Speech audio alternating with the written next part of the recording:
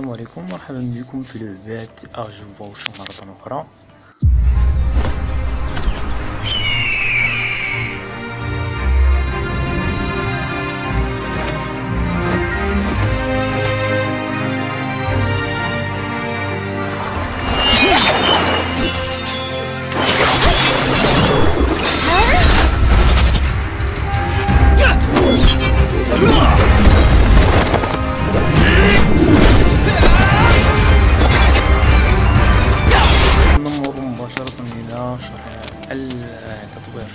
في الجزء بطبيعة الحال التطوير دائما يبدأ بهذه النافذة بالضغط على نافذة المهارات.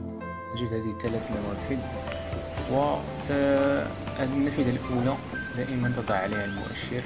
هكذا حتى تصبح يعني تشع باللون الأصفر. هذا يعني بأنها مفعلة وهكذا تقوم بكسب يعني آه، تلقائيا تقوم بتطوير يعني شخصياتك بدون علاج. ثم النافذة الثانية كما نرى هنا هي أنها تقوم بتطوير الشخصية بواسطة. بطبيعة الحال وهذه الطريقة ليست جيدة جدا لأن العملاء قد تحتاجها في أماكن أخرى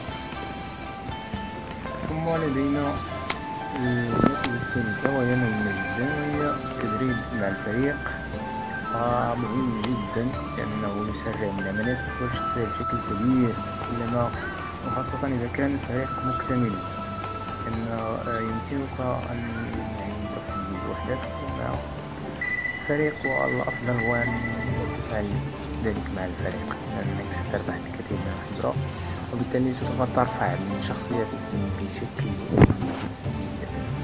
طريقة التدريب. فقط تضغط ستارت وتقوم بالحركات وتضغط على الأزرار ولا تنسى أن تقوم بضغط الأزرار الصحيحة.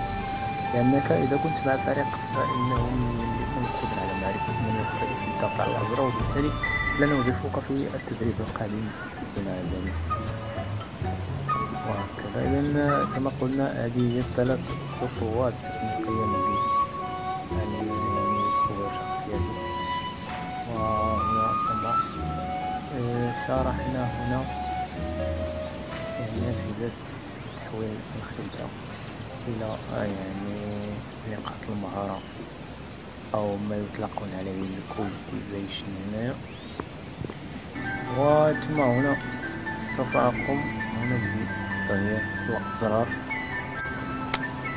كي نستطيع المشي لأن لوح المفاتيح عندي باللغة الفرنسية. يعني سوف أقوم بتغيير هذه الأزرار. حتى أتحكم آه، بشكل جيد على بهذا الشكل نحن الآن جاهزون. وهذا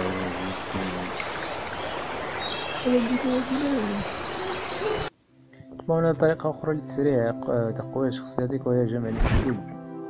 الكتب الصفراء عندما تقتل أحد يعني الأسياد اللصوص تجمع الكتب الأصفر الصفراء تحتاج كتابين. يعني عليك أن تقتل البطلين. من أجل أن تحصل على تلك الكتب.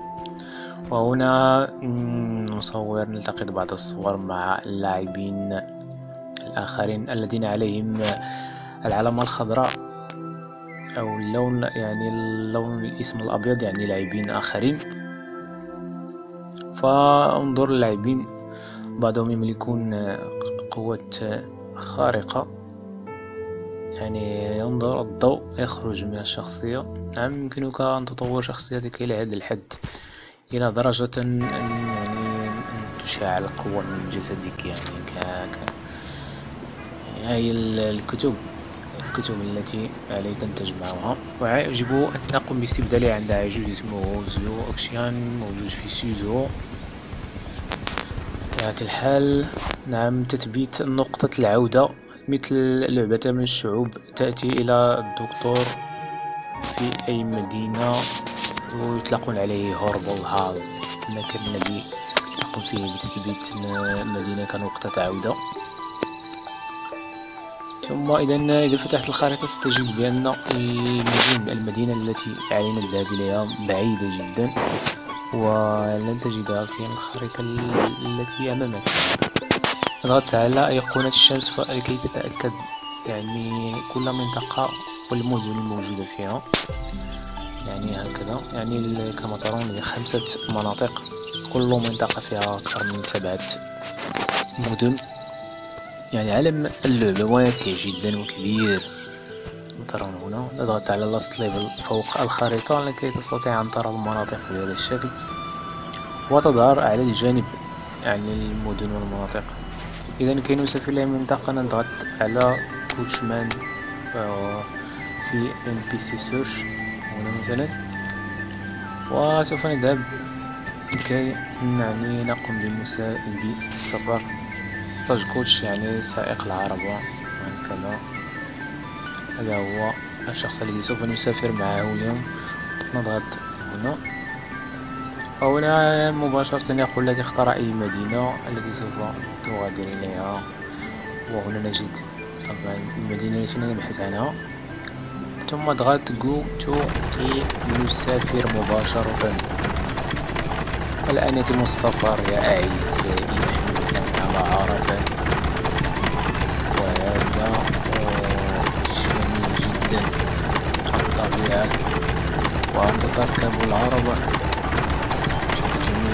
أنت تركب مع ناس يعني ناس عاديين يتحدثون مع بعضهم كما يمكنك أن تركب مع أصدقائك إلى آخره.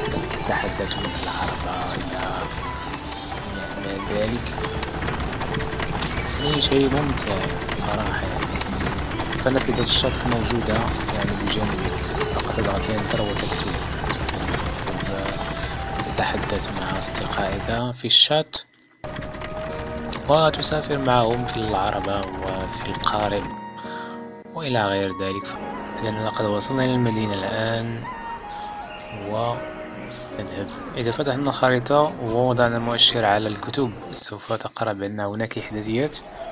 وحينما تحرك المؤشر على الخريطة فإنك سوف يعني تلاحظ الأرقام الإحداثيات. هكذا ستجد يعني مكان شخصية بكل سهولة. نتحدث عن العجوز المجنون هو؟ مرحبا بك يا بني. نعم كي تبدل الكتب. يجب أن تقوم بالمجيء إلي دوما. طبعا أنت تقوم بتغيير الكتب تبادل الكتب عند هذا العجوز هذا. بهذا الحال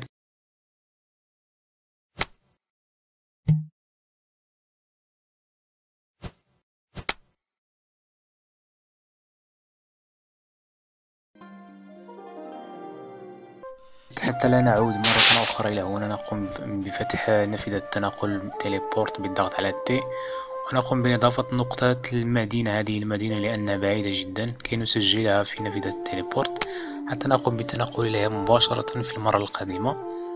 نضغط على زائد هنا وتختار extend ثم زائد ثم هنا تختار اسم المدينة التي تريد أن تضيفها إلى نافذة التنقل هنا ال teleport وتضيفها إلى هنا مباشرة.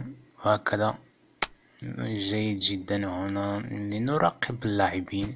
انظر إلى هذه الطاقة. أوكي جيد جدا. هو خرافي وهذه فتاة نعم فاللعبة يلعبها الفتيات والشبان أيضا. آه شيء رائع جدا. هذه الشخصيات.